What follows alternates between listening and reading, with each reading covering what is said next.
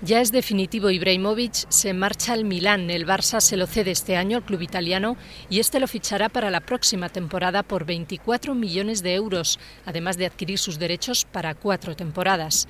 El jugador sueco le costó al club azulgrana más de 40 millones, pero la directiva asegura que la operación les ha salido redonda porque se ahorrarán hasta 60 en concepto del sueldo del jugador.